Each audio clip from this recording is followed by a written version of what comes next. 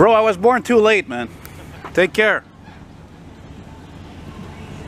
That's an automobile, man. I'll tell you right now. That's about as old school or whatever the hell that guy's playing on his bike. Everything else that's parked here, I don't care what it is or how much it costs, doesn't compare and compare. I just told the guy, I have a friend who I who has a 70 DeVille convertible. It's almost like that, and it's cost him like hundred grand to restore that car.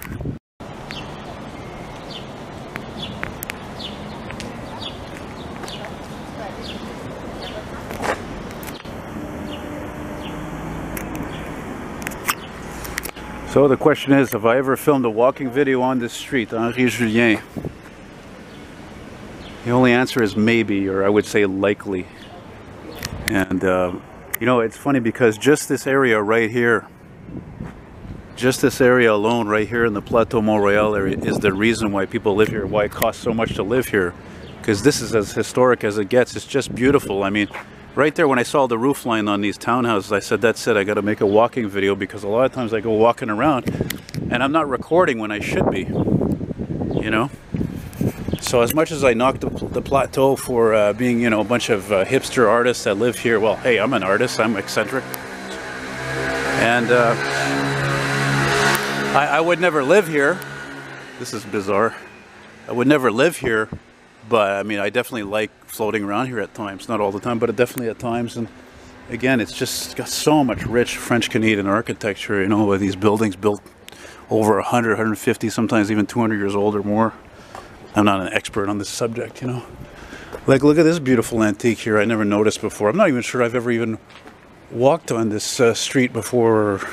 This part, well, on this street, yes, but on this part of it, I don't know. It's a pretty long street, I think. Maybe even goes all the way to a Ahuntsic. Look at that. It's like a, kind of a castle, you know? Look at that. Beautiful. Man, as a matter of fact, it's so lavish and even, damn it, even ornate that, uh, I've lost my train of thought. Something's responding. Okay, start over. No, I'm just kidding. Just thought I would just make a joke here and start recording And again. Luckily, I was right close to the street here where this square is because I did happen to get from a long distance away that fire truck responding, that pumper. I thought about waiting to see if I can get the ambulance responding, and I'm like, ah, I've already got my quota for today, so, so to speak, if you're familiar with what I do, I don't need to explain. But what I mean is that, you know, I try to always, every day or almost every day when I'm out there filming stuff, to strive to catch the stuff that I want to get, like one freight train, one or two emergency vehicles responding, maybe one vintage car. I just filmed actually a 69 Cadillac DeVille convertible, just turned a corner there, just from there, just driving by these historic buildings. It was beautiful, it was dynamite. Because frankly, as I realized this year, I had kind of an epiphany, is that I'm too old school. And yeah, I'm walking in the middle of the street, I like it. I like it, I dig it. You know? Not surprising to see this here. Only unfortunately, one of the problems with these aging old historic buildings, like old cars, classic cars, or anything that's really old, that's got a lot of parts, they often need work, you know, roof work, floors, electrical, plumbing. I had a friend many years ago when my dad died. I got an inheritance, you know, and anyway, I blew it all, but that's another story. And, you know, he says, why don't you buy a building? You know, because he kind of talked like that. He kind of sounded like a bird, you know. Well, he was one of my best friends. And, uh, I'm like, man, you know, I'm not as entrepreneur as he is, and I definitely was not at that time at all. So that's something that started more uh, the year, a couple of years after. See, this was all repainted, but that's all original style, original uh, detailing and all that.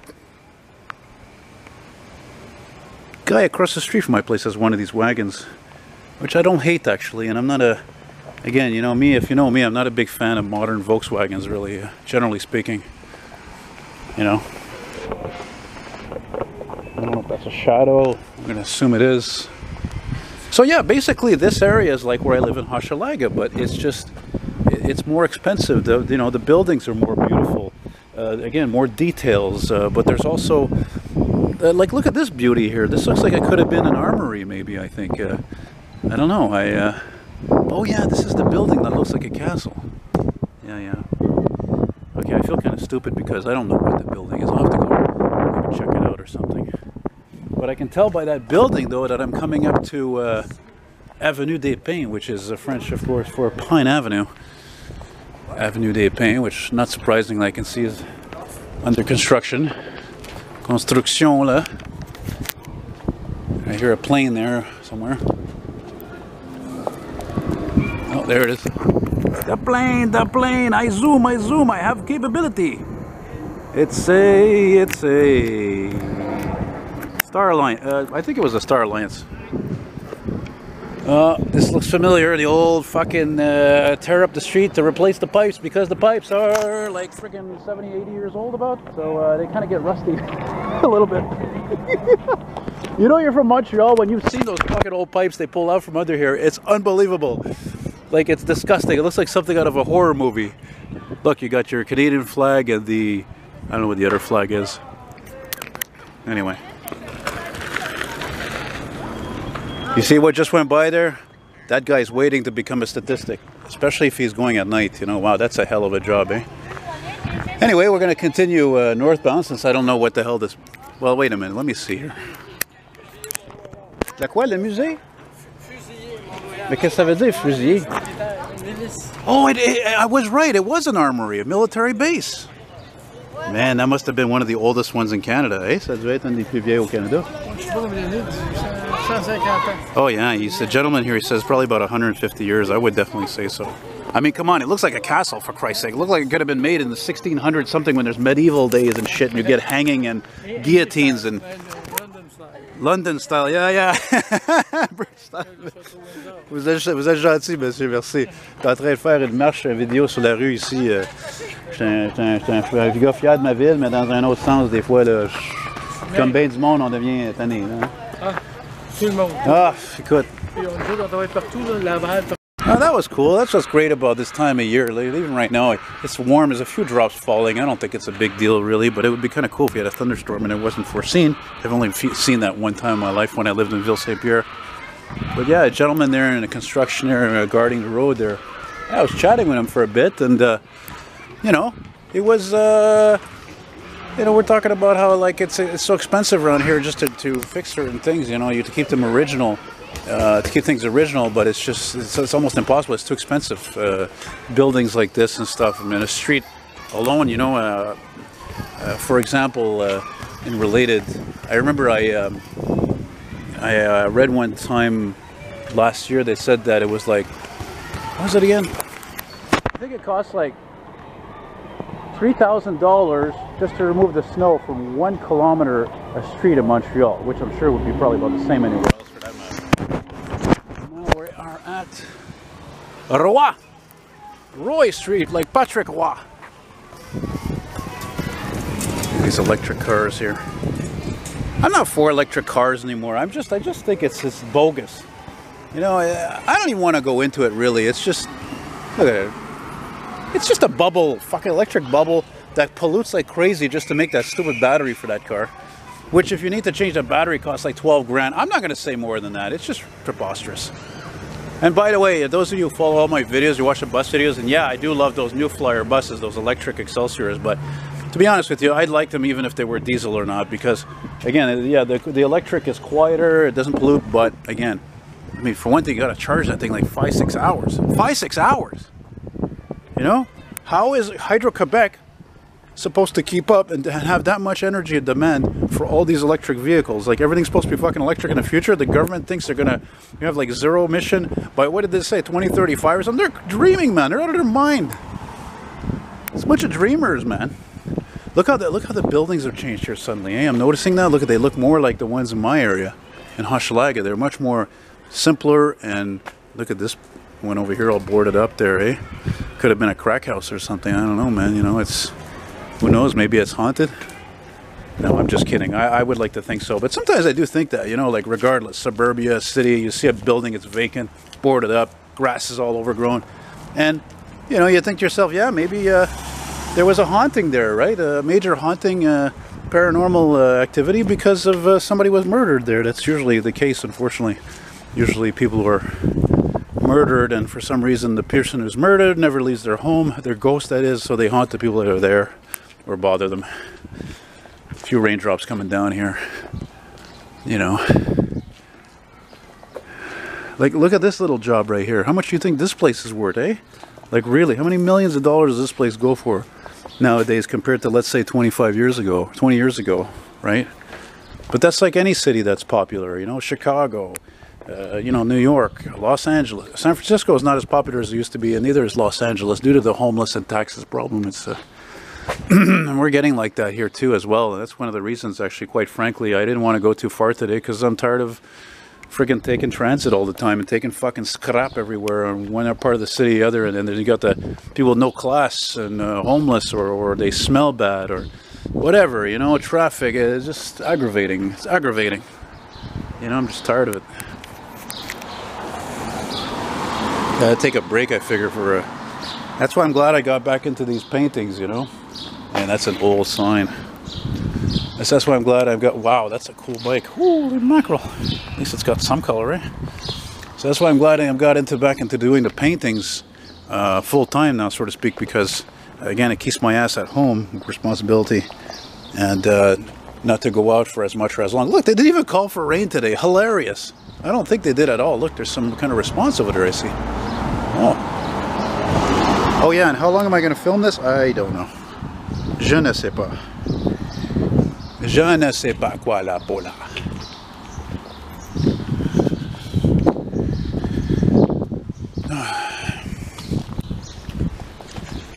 A little bit tired out today. Okay, it's raining a little bit now. We can't have it rain too much here. This camera is not uh, is not uh, doesn't like the water. You know, it doesn't like droplets. I ruined actually a camera like this once. I think the first one I had, I ruined it because of that.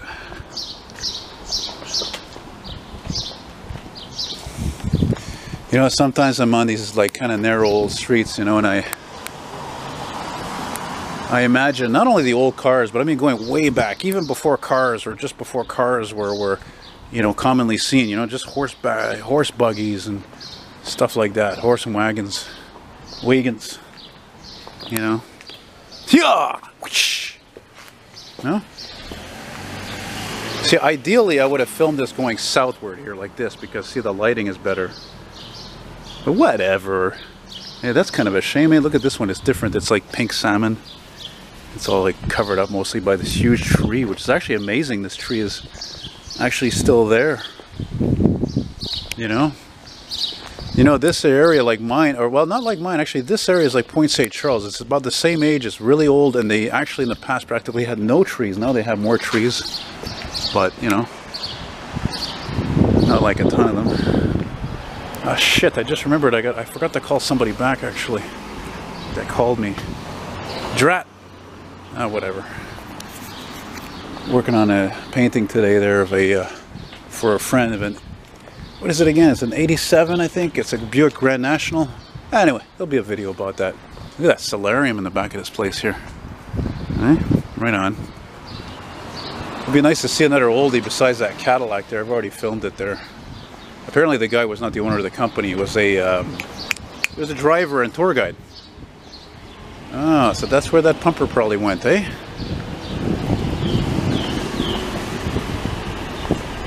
I'm pretty sure this place must serve Italian food, eh? Pretty much betting on it. Oh yeah, now I recognize this for sure. This is Prince Arthur. Prince Arthur. Oh, this is a paramedic supervisor usually, or technical assistance actually. Yeah. This is a really beautiful street. This goes all the way to Saint Laurent Street. And uh, this is a sign saying they're going to close this place. You can see there used to be a dépanneur here. I don't know how a dépanneur closes. Probably probably got robbed too many freaking times. You know. Oh, there's the sign right there.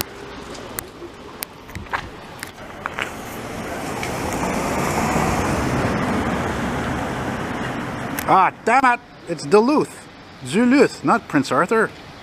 But they both look like this. They both look alike, those streets. They both have these, uh, the cobblestones, you know? Cobblestone si side. It's not even a sidewalk. I don't know how much more I'm going to film. Maybe a, one more block, maybe two maximum.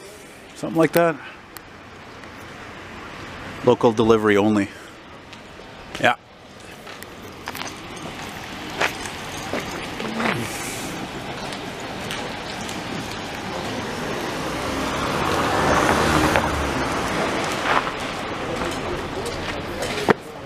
Those paramedics recognize me. They should. I've been freaking filming their asses for years.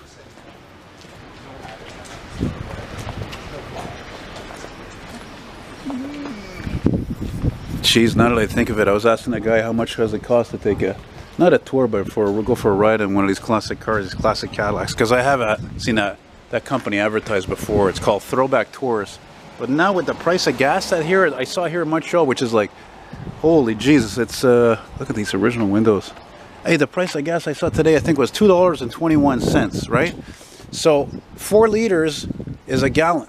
So imagine that's like uh, practically seven dollars a gallon and we're talking about a car that gets like 10 miles per gallon, maybe.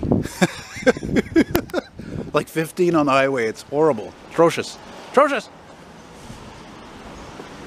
But yeah, I saw it and I was like, oh my god, I saw. I'm telling you, it is addictive to ride in those cars. It was common people riding cars like that, huge cars, and they were like living room, living rooms on wheels. Okay, buddy, you had too much cologne on. I'm like, man, but uh, man, it's again, they're just so expensive to operate. And, you know, I don't dream about owning a classic car as much as I used to. Um, obviously, it's not realistic. I'll never be able to drive legally, I'm sure. Pretty sure about that now at 46 years of age. But, you know, of course, it's always that little part of you that's, you still think of it, right? Because you love something so much, you'd like to be able to, wow, look at those windows on those original doors. Beautiful. Gorgeous. That's different, you know? Wow, that's a very original building. It looks like it could be good, might not be too good, depends, you know? Some people have owned buildings for like decades, you know? And they didn't really change anything that didn't need to be changed. I'm, I'm like that of that mentality as well. I'm like, I'm, of, I'm of the old school. If it ain't broke, don't fix it, you know? Like, why would you on earth would you get rid of all these, all these branches with leaves covering up part of this building? It looks cool, you know? It's, it's part of its, uh, Mystique, no? Or why would you repaint this, uh, making me think of McDonald's type of staircase here? It's cool, you know? There's even antlers up there. Seems to be a hotel, actually. Oh, where, oh, where can my baby be? The Lord took her away from me. She's gone to heaven, so I've got to be good. So I can see my baby when I leave this world. You know, most of the time when there's a cover song that was made back in the old days, or good old days of rock and roll there, I usually like the original more, but there are exceptions to the rule. I don't even remember who does the original to that song, but it was a song done in the, in the early 60s. That's a nice Accord Coupe. Maybe it's because it's from Ontario, and Ontario cars are in better condition usually than Quebec. Le Quebec! Anyway, the one I was singing there was by Mr. Eddie Vedder of Pearl Jam. Mm, nice colors. Look at that, eh? Nice blues, green.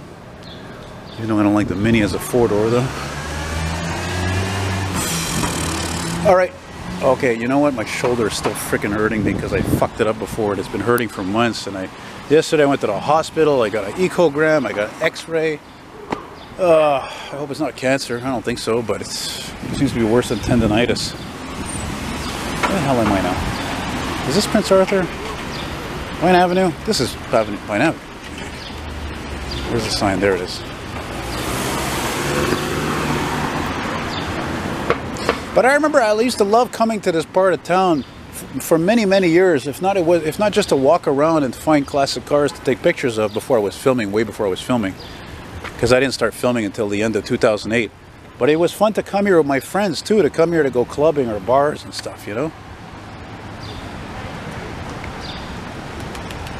what's with this church? Eh? It's not only really old, but it's got those Greek columns and it kind of looks like a bank. It's kind of weird, but it also looks pathetic too. It's all dirty and clearly needing work.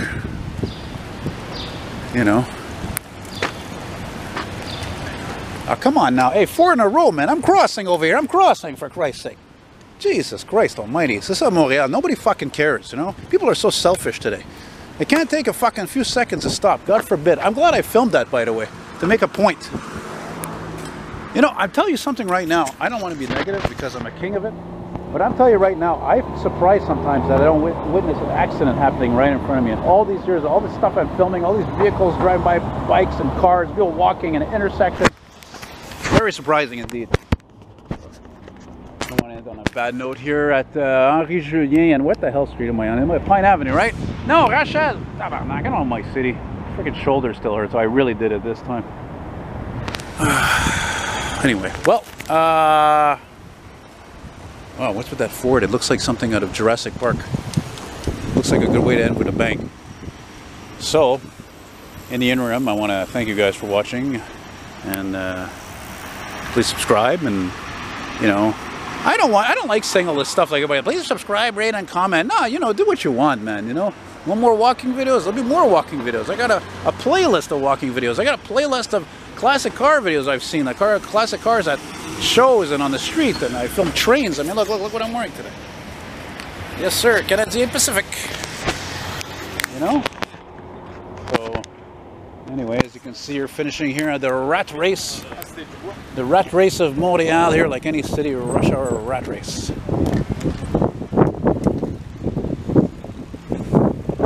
I just want to finish with that uh, that Explorer. It's bizarre. Oh, the hell with it. Forget about it. Anyway, so uh, yeah. Once again, guys, thank you very much for watching, and uh, stay tuned for other great stuff. And uh, I'd like to take a quote from a subscriber one time. He said to me, said, "You know what, Elton?" He says, "You are the transportation ambassador to Canada." Amen to that. Thank you very much, brother. That is definitely true. And there, there might, might be my Mr. Garneau by name, but uh, nobody's as dedicated to recording and documenting all transportation practically in Montreal and surrounding areas.